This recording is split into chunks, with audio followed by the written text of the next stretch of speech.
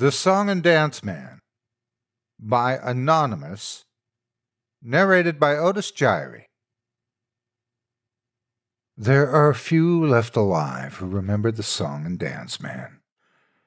Time has claimed the ones that survived the long night, and I'm sure they went willing to meet their Maker. Life takes on a strange tint after a night like that. The ones still left Bill Parker, Sarah Carter, and Sam Tannen. Don't talk about it. Sam's lucky. His brain started to turn to porridge a few years back, and now he has trouble figuring out how to put his pants on. He got an early reprieve from his memories. He doesn't wake up night after night, the music still playing in his ears, with tears still drying on his cheeks. The song and dance man came to Belle Kearney with little fanfare in the fall of 1956. I had just gotten out of high school and was working as a stock boy at Handy's Hardware. I was there the afternoon that Sarah Carter burst through the door, making the bell over the door jingle like mad. George, you gotta see what's being set up by the bandstand. There's this huge tent up, and this man standing in front of it yelling like a carnival barker. Sarah was out of breath and had obviously run from the park and all the way down Main Street. Her hair was whipsawed every which way, and one strand stuck to the end of her nose.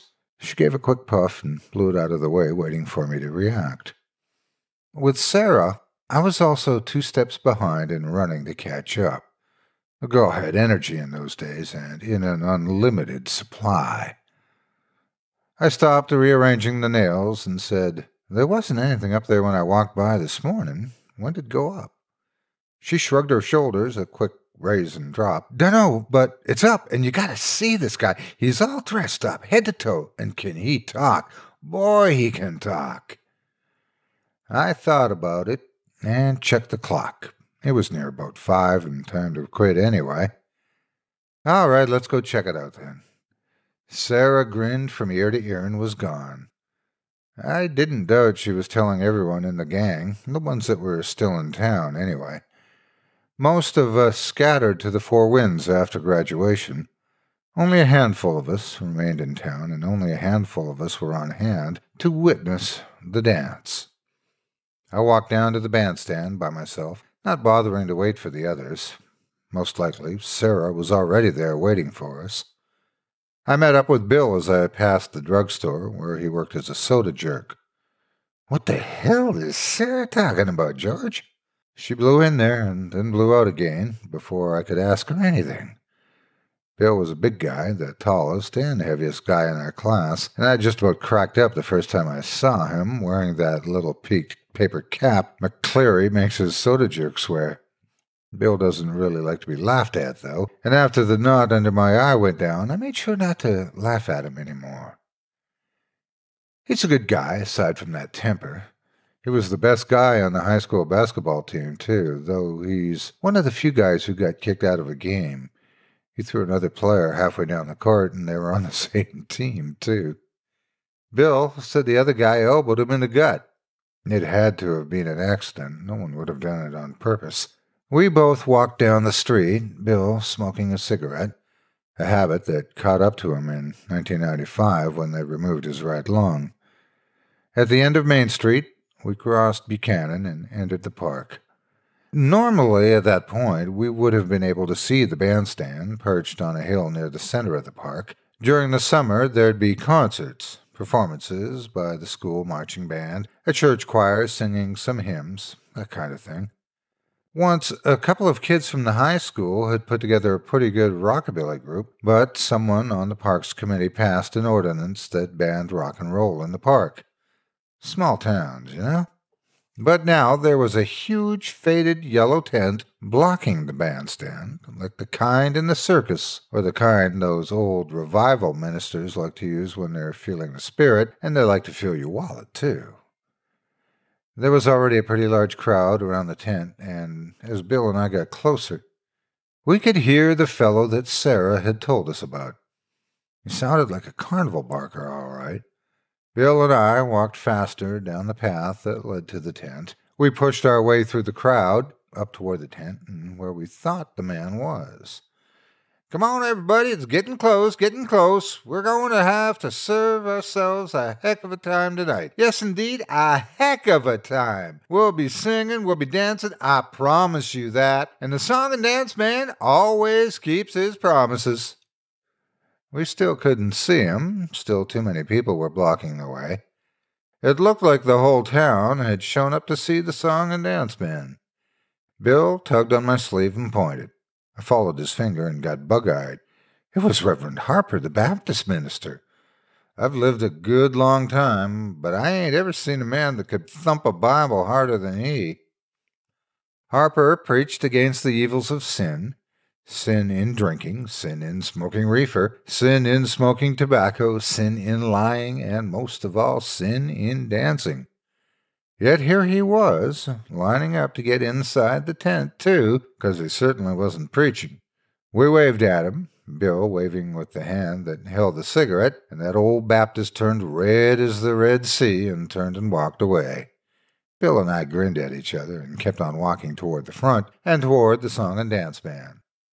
Finally, we broke through the crowd, and there he was, he stood on an old crate, splintered and looking like it was on the verge of collapsing under his feet. On the grass beside him lay a black fiddle case with gold trim along its edges. It looked old, older than a crate, older than a town. It seemed like something ancient. He was all angles, all knees, elbows, and shoulders. He was tall and gangling, his body moving and bopping to the rhythm of his words. He wore a red and white pinstripe jacket, looking like he belonged in a barber shop quartet. A straw hat sat on his head, always getting pushed back or pulled forward by his long fingered hands. Long six fingered hands. I started when I saw that. I had read some folks are born with six fingers, but reading about something and seeing it are two different things. His eyes just about flashed blue lightning as he spoke, and sparks nearly flew from those white teeth, and he just never stopped talking. He didn't stop for breath, for questions, or anything. He just kept up that pattern like his very soul depended on it. All right, all right, all right. We're getting close, getting real close. Yes, we are. Are you ready for dancing? Are you ready to sing? Because I'm ready to play my fiddle. Yes, I am. Yes, I am. Got a fiddle at my feet and I'm ready to play. Ready to make those strings sing. Can you believe it? He'd clap his hands, and that's as close to a pause as he was willing to do. Sarah and Sam came up to us now, having found us in the crowd. Sarah, what'd they tell you? Looks like he should have been in a carnival trying to get us to see the bearded lady or something. Sam nodded his head in greeting to us, which caused his glasses to slide down his nose, and he gave them a short push back up to where they belonged. He was as tall as Bill, but nowhere near as built. He was the smart guy in our gang. You had to have someone like him around to tell how to do things like take apart the principal's car and rebuild it in the school gym. Not that we ever did anything like that. What's he selling? asked Sam. The dance, I figure, I said. What's it cost? The song and dance man must have heard him because he said, What does it cost? I hear you ask. Why, it don't cost a dollar, it don't cost a quarter, it don't cost a dime. Folks, this will cost you nothing. Just get on in and dance to the song all night long. We all looked at each other. It was a good deal. A little free music and space to dance. There wasn't much to do in town back in those days, and there still isn't. This was almost too good to be true. The song and dance man stopped now, a minor miracle in and of itself. He dug deep down in his pocket, pulled out a gold watch, checked the time, and then grinned, a grin that must have shown every one of his teeth. He pocketed the watch and said, Folks, it's time for the dance, so come on in, come on in, everyone, because it's time for the dance to begin. And with that, he hopped down from his crate, grabbed it up with the fiddle, and darted through the tent flaps. Sarah, Bill, Sam, and I nearly got mowed over in the rush to get inside, but we were still the first ones in. We stopped short when we pushed aside those big old tent flaps, but were quickly driven inside. It was huge inside. There was a hardwood floor beneath our feet that looked like it must be oak, a dark, dark oak, polished to a mere shine. There were candles in holders all along the tent pole posts, and when I looked up, I couldn't see the ceiling for all the darkness. It was like looking up at a starless night sky where the moon didn't dare show her face. The crowd kept driving us, and more and more people poured in. It wasn't just the young people either. There was Mrs. Crenshaw, our junior year English teacher, who was in her fifties. There was Mr. Hawkins, the principal. There was the good old Reverend Harper, still looking embarrassed, but also like he couldn't help himself. It really was the whole damn town. Hell, even the mayor was there with his wife, standing and talking with the police chief. Soon everyone was inside, and the murmur from all the talking was nearly deafening. It was already getting warm in there, and I was feeling cramped and claustrophobic. We were all looking for the song and dance man to see where he had gone. No one looked up, so no one saw him until the first pull of his fiddle bow. He was there on the center tent pole, sitting on a small wooden platform about twenty feet off the floor. God knows how he got up there, because there certainly wasn't any ladder going up. He dangled his feet over the edge and held his fiddle in one hand and the bow in the other. The fiddle and the bow seemed to be made of the same dark wood that the floor was, and gleamed in the candlelight like a thing alive. I almost doubted that the fiddle even needed the song and dance band to make its strings hum. We all looked at him, and he grinned and jumped to his feet while the crowd gasped, worried he might plummet into their midst. And then he began to play. He made those strings sing. I haven't heard anyone play like that before or since, and I thank God for that every day. It made the air around us crackle and spark.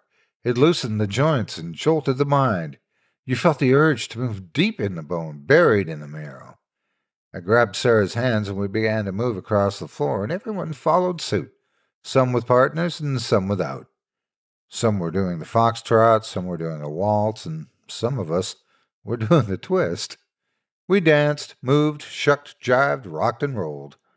I passed Reverend Harper, moving his feet in a clunky box step with Eloise Grendel, an old battle axe of a Catholic. I saw the mayor's wife waltzing with Diane Adams, one of our firemen. I swirled with Sarah, moving across the floor, bumping and jostling with the people around us. It was hot and getting hotter in there, and it wasn't long before it smelled of sweat and bodies moving against bodies. I felt dizzy, but we kept dancing together, kept dancing and not stopping.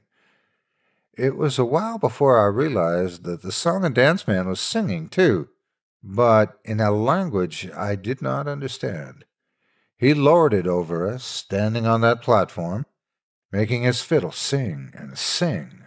His bow rose and fell, slid back and forth, side to side. He played like he talked. There were no breaks or pauses, just a manic deluge of tunes, while his tongue curled his words that had no business being said in this world. I gave my head a shake as I spun with Sarah, and I realized my legs were tired. My feet ached and my lower back was beginning to throb. I checked my watch and realized we had been dancing for a solid hour. I shook my head again, trying to shake off the dozy feeling that was clouding my thinking. Sarah, I cleared my throat. I had only spoken in a whisper. My tongue felt thick and funny. I tried again. Sarah, louder this time, but she still didn't respond, and we kept dancing. I shook her, but she didn't respond. I kept shaking her until I realized I was doing it in time with the music. So I just tried to stop, and I couldn't. I couldn't stop. Underneath the fog, I began to feel frightened. I began to see the faces of the other people now. I saw their terror. Reverend Harper's face had grown redder than it had been before. Sweat poured down his face, but he still kept moving, twirling Mrs. Grendel around and around, her head lolling from side to side. She had fainted, but her feet were still moving. We moved past Bill, who danced with Susie Watkins, and I saw her frightened eyes darting around the room, but Bill bobbed his head in time with the music, and his glassy eyes looked at nothing in particular. The song and dance man laughed from his perch and kept playing, tapping his feet. His eyes were glowing in that dark, humid place. They glowed and glowed, and light glanced off the bow with each sweep. I heard a scream and swiveled my head to watch a woman drop to the floor holding a leg. She had cramped up. I was envious. She got to stop. She got to rest. My own legs felt like dead wood, and the ache in my back had deepened. Then her partner stepped on her ankle, and I heard the crunch from across the room. He was still dancing, his eyes blank and empty as he moved. She screamed again and started to crawl away, but instead stood up. She started to dance, bringing her weight down on the broken ankle again and again and again. I turned away, but I couldn't block the sound of her sobbing. The music ran on. I checked my watch again, and it was three hours now. We didn't flag or falter. We kept up the same speed as the fiddle, the damning fiddle, rapping our feet against the floor.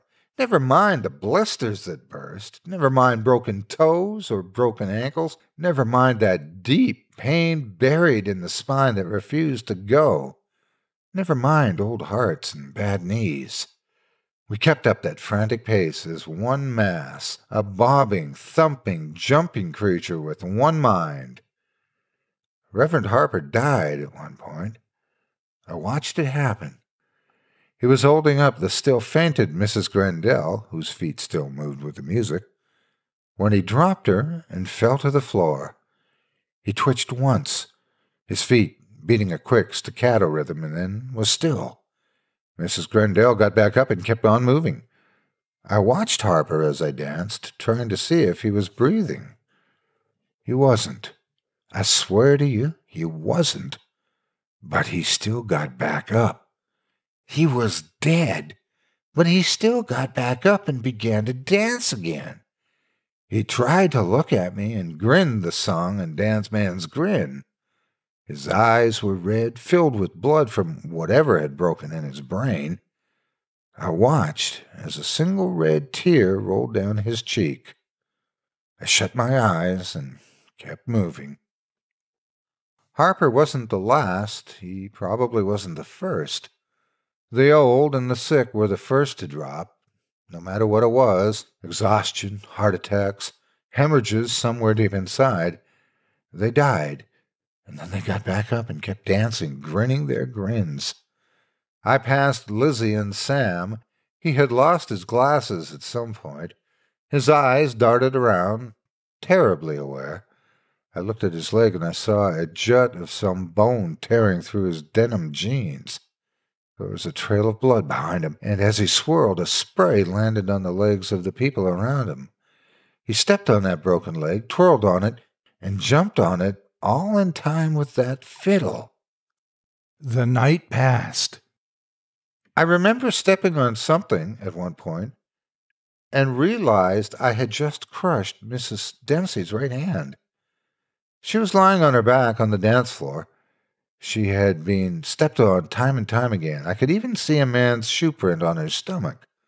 Her head had been caved in, and her chest beneath her dress had a sunken look, and still she was trying to get up and keep moving. The smell of blood mixed with the sweat, and I couldn't breathe any more. The air was thick, and from all around I could hear cries and screams, but nothing that drowned out the fiddle or the song and dance band singing. And then it stopped. I danced one more step and then stopped myself. I looked up at the platform. We all did, craning our necks upward. He was checking his pocket watch. All right, folks, that's all for tonight. The dancing's done and the morning has come. You may leave if you can walk and should walk quick, 'cause this and dance man is going to be gone. We all stood there like stunned cattle, then marked to the tent flaps. No one ran because they couldn't. It was a miracle we could walk. Sarah stepped ahead of the left, but I stayed behind. I turned and looked and saw at least twenty people still standing there. Harper was among them. They were all grinning, their eyes empty. They stood and made no sign of wanting to leave. Go on now, friend. The song and dance man has what he wants, but he'd be glad to add you, too, if you tarry and dally too long. I looked up at him and saw him smile, and then I turned my back to him and left the tent. When I turned back again, it was gone, along with all the people inside. That's the story of what happened. The others won't tell it or pretend it never happened. Never mind the twenty people that vanished that night, the mayor's wife included. They'd rather not think about it. Sarah and I took Sam to the hospital over in the next county, far from folks that knew what had happened.